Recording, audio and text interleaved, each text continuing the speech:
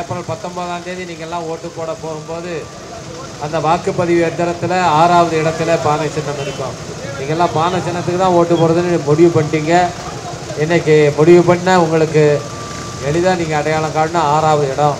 ஆறாவது இடத்துல இருக்கிற பானை சின்னத்துக்கு வாக்களித்து ஒரு மகத்தான வெற்றியை நீங்கள் தேடித் தருமாறு உங்கள் பாதம் தொட்டு கேட்டுக்கொள்கின்றோம். நம்முடைய மாண்பு முதலமைச்சர் அவர்கள் இன்றைக்கு பல நலத்திட்டங்களை செயல்படுத்தி கொண்டிருக்கிறார். மகளிர் உரிமை தொகை அதுபோல கட்டணமில்லா பேருந்து பயணம். கல்லூரியில் படிக்கிற பெண்களுக்கு புதுமை பெண் திட்டத்தில் மாதம் ஆயிரம் ரூபாய்.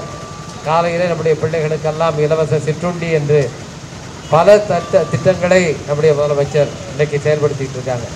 இன்னும் பல திட்டங்களை அவங்க செயல்படுத்துறதுக்கு இன்னைக்கு என்ன பண்ணியிருக்காங்கன்னா இந்தியா கூட்டணி என்ற ஒரு மகத்தான கூட்டணியை அமைத்து அந்த கூட்டணி வெற்றி பெற்றால் தாய்மார்கள் நல்லா கவனிச்சிங்க இந்தியா கூட்டணி வெற்றி பெற்றால் உங்கள் ஒவ்வொருத்தவங்களுடைய வங்கி கணக்குலையும் ஆண்டுக்கு ஒரு லட்சம் ரூபாய் மகாலட்சுமி திட்டம். இன்றைக்கு ராகுல் காந்தி அறிவிப்பு செய்திருக்கார் நம்முடைய முதலமைச்சர் அதை வழிமொழிந்திருக்கிறார் உங்களுக்கு ஆண்டுக்கு ஒரு லட்சம் ரூபாய் மகாலட்சுமி திட்டத்திலே நீங்கள் பயனடைய வேண்டும் என்றால் நீங்கள் வாக்களிக்க வேண்டிய சின்னம் தான் பானை சின்னம் பானை சின்னம் பானை சின்னம். மறந்துடாதீங்க பானை சின்னம். வாக்குப்பதிவு எந்திரத்தில் ஆறாவது இடத்துல பானை சின்னம் இருக்கும். பா-